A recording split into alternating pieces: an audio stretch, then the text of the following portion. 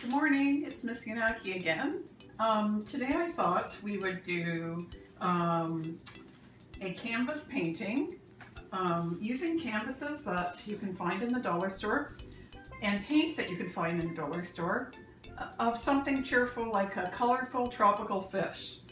Um, so the supplies that you'll need are whatever dollar store acrylic paints you can find um, a canvas. I I was excited to finally find canvases. Um, this one was $2. I like the square shape of it. Um, you'll need some brushes that have good spring. These ones were three, $3 white um, brushes from the dollar store. Um, you could also get a large, you can also find larger canvases if you want to do a larger format, that's, that's fine. So you're going to need canvases, paint, paint brushes. You're going to need some uh, something from your recycling to mix your paint on and a jar from your recycling for some water. Um, the other thing uh, that you're going to have to find is some images that you're going to copy of your tropical fish. So you can do that by typing in tropical fish on the uh, internet this one, um, I actually typed in triggerfish um, because my daughter painted a triggerfish that I thought was really cute. And uh, she used an image that she found on the internet. This may not be the exact same one, but it's very similar. Um, you can. I also like to use children's books. Um, and calendars are a great source of uh, images as well. So you could try printing some, if you have a printer, you can print some of the images from your from the internet that you could have right beside you when you're dry, drawing. I also happen to have some tropical fish books because I like to snorkel, so um, they're a nice reference as well. Okay, so first step is what you do is, after you unwrap your canvas, is to paint the whole canvas a solid bright color. Um, and I like to use um, red or yellow or orange. And I kind of like what my daughter did here using a mixture of red and yellow. So that is what I'm going to do first. I'm going to squirt some red with a bit of yellow. And if you can find bright red, that would be great. I see this one's called Christmas red. Um, and the reason why I like to paint the canvas with a a solid color first is that you're not, you won't have any little white bits of canvas showing through your painting when you're when you're done, which makes it look unfinished. Instead, you could have little bits of red showing through, which can act as a nice complementary color to what you're, if you're using blues, and make it look very vibrant. Now, some people paint the edges uh, some people don't. I kind of like the edges painted because it looks finished from all sides, but that's a personal preference. Okay, so after your canvas um, base coat, undercoat, has been painted with um, a bright color, um, in this case it was red mixed with a little uh, yellow, the next thing you're going to do is practice sketching your tropical fish.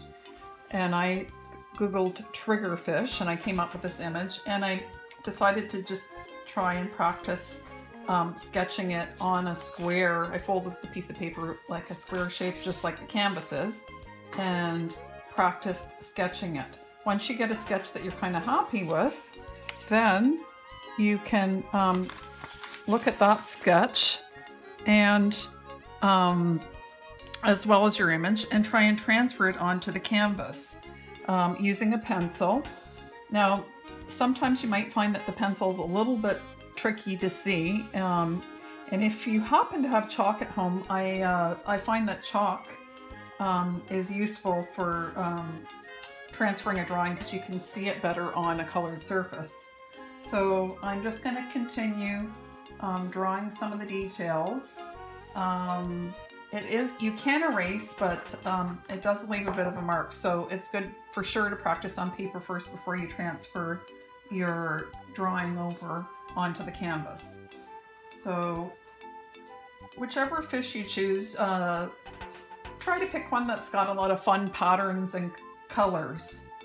um, because you can make it look any way you want. It doesn't have to look exactly like the picture and it'll be fun to color in with the different colors of paint. So I'm just going to finish drawing and then we'll move on to the next stage. Okay, so my next stage after I've sketched in my fish is to trace the um, lines with black. Now I just noticed that um, I prefer to move to a smaller brush. So if you could happen to get a small as brush as possible, I think it's maybe a zero or a number one, that might make it easier for tracing with skinny lines, otherwise your lines might end up being fat. So I'm just tracing over my, my pencil lines, pulling the brush um, with block paint. Um, that's another thing I'm always telling students, pull your brush. If you push a brush, you get a fat line. If you pull the brush, you can have control and can get a skinnier line. So if you find that um, you don't have a skinny brush, and it's too hard to trace with uh, the brushes that you have. I was thinking you could probably try um, using a Sharpie marker. That may be easier than tracing with a paintbrush. So I'm gonna do, I did part of this in paint, but I'm gonna just see if this works. Yeah, it seems to be working. Tracing my pencil line with Sharpie.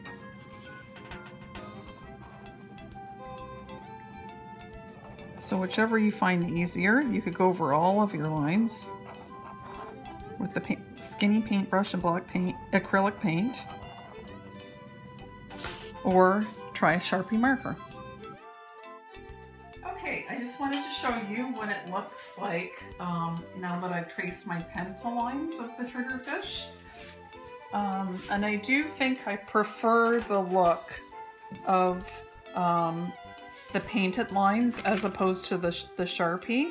I think that one was Sharpie there. It just looks like they vary a little bit more and look, look a little bit more interesting.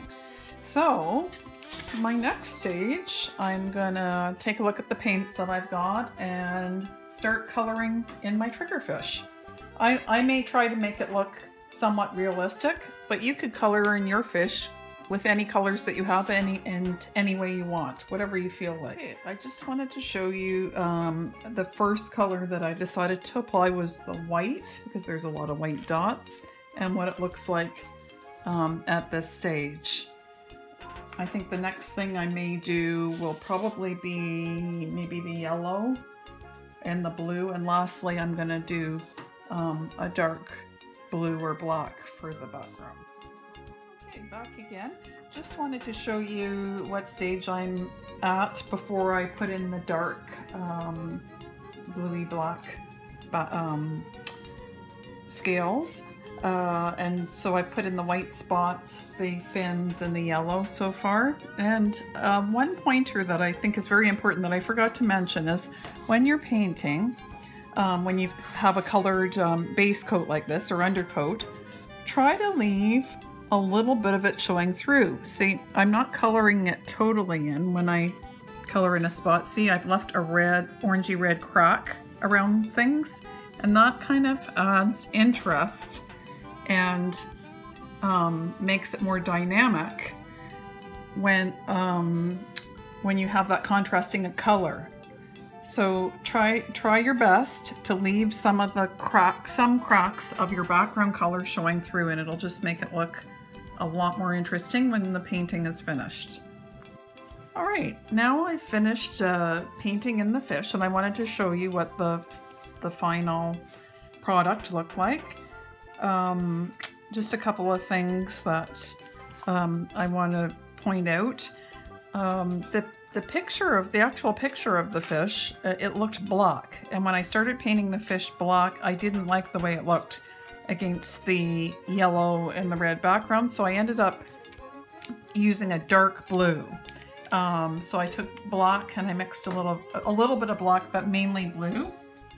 And the other thing that, uh, and I, unfortunately I had to use a blue that wasn't from the dollar store, but I'm pretty sure you could get an ultramarine blue um, from the dollar store. I just didn't have a darker blue. Um, the other thing that I found made the fish look a little bit more interesting was if you take a look on the white, I added a little bits of blue highlight. Um, just taking some blue and mixing it in with some white. And then um,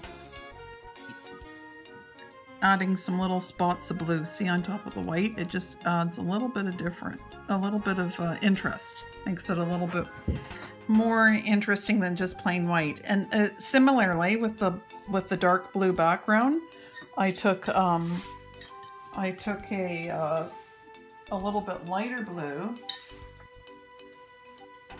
Um, and added some blue stroke, some little bit lighter blue strokes here and there on top of the dark background and it sort of, I think, gives it an effect of scales or shimmering in the water. So at this point, you could leave the painting as it is, or if you wanted to, um, you could paint the background with water and movement in different watercolors, but I'm gonna leave, I'm gonna leave it as is. If you do go to paint the background in, don't forget to leave the little red crack around your fish to make it pop out. So here's my triggerfish, and that was the original one that my daughter did that inspired me.